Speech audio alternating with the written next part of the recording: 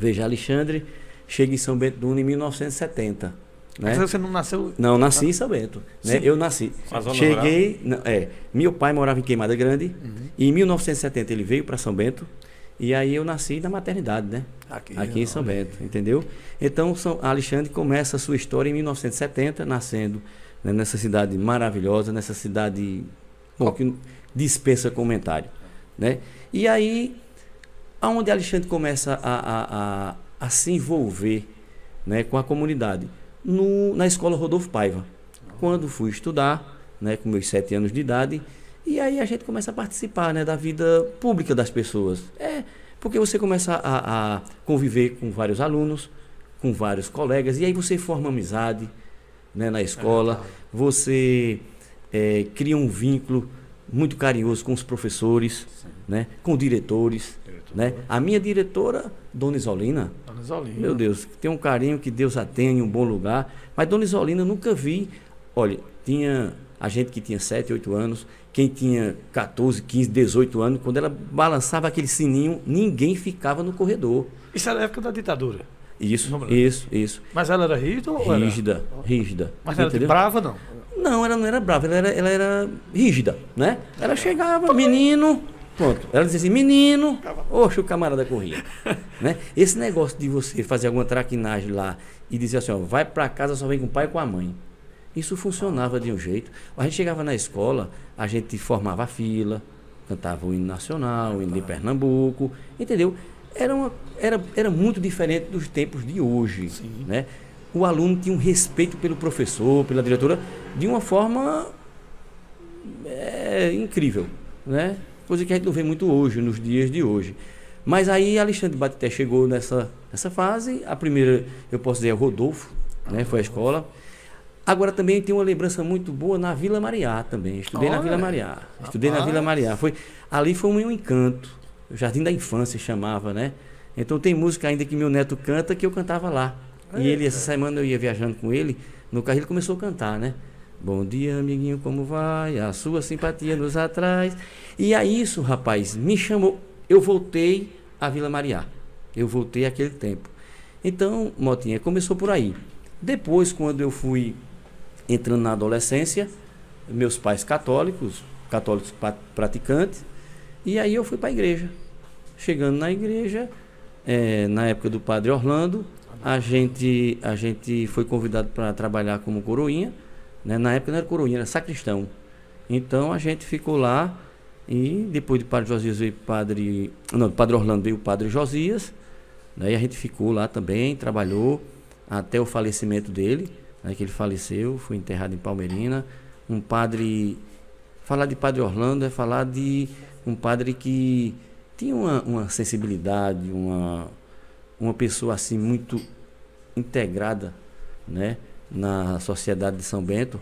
Mas Padre Orlando, Padre Josias já tinha uma característica diferente, entendeu? Era um padre mais aberto, mais visitador, mais social, entendeu? Ele, ele, eu lembro que eh, Zefa, que a gente chamava Zefa Ruela, né, tomava um, hoje ela não bebe mais, Não é mais. mas naquela época ela vivia, coitada, numa fragilidade muito grande e ele construiu uma casa para ela, Arretado. colocou ela lá e ela começou a se restaurar, a gente pode dizer assim, entendeu? E hoje ela dá esse testemunho quando a gente se encontra. E eu participei da construção dessa casa, que fica ali por trás de onde é a casa do Gari hoje, ali por trás do Eupídio, Sim. né? Sim. Que eu te chamo a Rua da Vara. Ah, né? Vila Nova, Vila Nova, Vila, tem um é, monte de nome. Tem um nome de, é, E no nomes. final é Rua da Alegria, sabia? É Rua da Alegria, é? É, porque a Vila Nova, o Odete Costa e o, e o Santo Afonso II sai tudo da Rua da Alegria. É, né? né? Migraram para lá. Que era o Buraco do Tatu. Sim, Você- isso, eu acho isso, que tu lembra daquele menino, né? Isso, época- lembro, lembro, Mas, lembro, lembro, Buraco lembro. do Tatu. E terminou em parar em algumas. Ela morou na Rua da Alegria, inclusive. Zé, Sei. na época da filha dela, né? que Tinha filha, Sim. tudo, passou, fez- história por ali. E olha, eu não sabia dessa. Ela me contou que tinha é, é, morrido e ressuscitado. Ela contou a É, história. ela Ah, conta nós. essa história. Ah, é, Zé Faruela.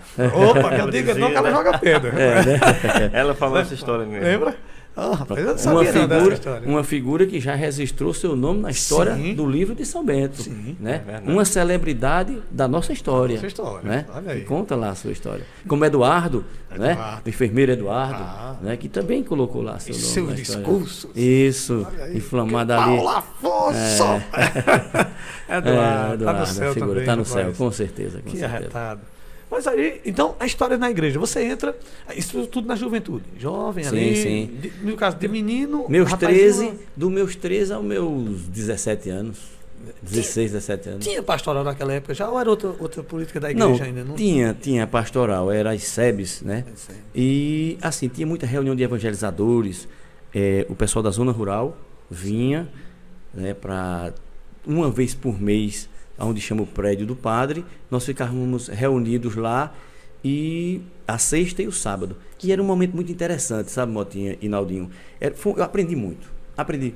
Na verdade. Foi a segunda escola. Foi a segunda escola, né? Foi a segunda escola. Foi a, a, a escola da, da, da sensibilidade, a escola não é, do servir. Porque, veja, você pegava naquela época, na, na época, na década de 80, o pessoal, os evangelizadores, quem tinha vinha de bicicleta. Aquela bicicletazinha monarca, o calói, com aquele bagageirozinho, cada um trazia um quilo de alimento. Para quê? Para a gente fazer a janta, o café e o almoço do sábado. Chegava na sexta-feira de tarde, a gente já preparava. E eu convivi com esse pessoal. Eu tinha meus 13, 14 anos. 12, 13, 14 anos. Então, eu convivi muito com isso. Né? Essa questão de mutirão, de trabalhar em mutirão, de, de, de eh, ver, ó, fulano está precisando de algo. Então, vamos juntar aqui, fazer uma campanha e ajudar aquele fulano. E aí a gente foi tendo essa, essa, essa base.